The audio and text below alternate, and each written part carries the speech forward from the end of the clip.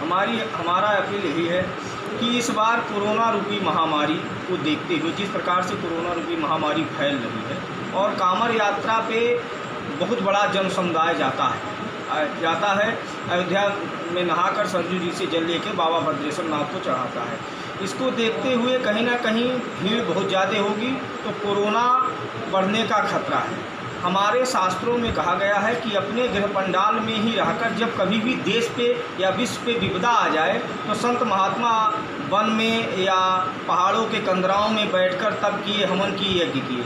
तो हमारा यह मानना है कि अपने घर, गृह पंडाल में पार्थिव पूजन का बड़ा महत्व है। मिट्टी का शिवलिंग बना करके पार्थिव पूजन करके भगवान शिव की अधिक से अधिक संख्या में पूजा पाठ हो और रुद्राभिषेक हो, अपने घर के अंदर मंदिरों में कम से कम लोग जाएँ क्योंकि जहाँ अधिक भीड़ होगी, वहीं जो है कोरोना का खतरा है। एक दूसरे में फैलने का खतरा, क्योंकि संक्रमण का यह रोग है।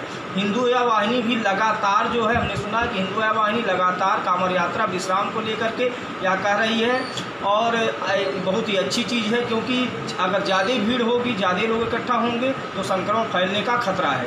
इसलिए हमारा सभी शिव भक्तों से, भगवत भक्तों से और सारे कांवर भक्तों से यह अपील है कि अपने घर के अंदर रह करके पार्थिव पूजन करके, शिवलिंग का पूजन करके भगवान शिव की आराधना करें और विश्व को कोरोना रूपी महामारी से एकदम मुक्ति करने के लिए भगवान शिव की आराधना करें। हर हर महादेव।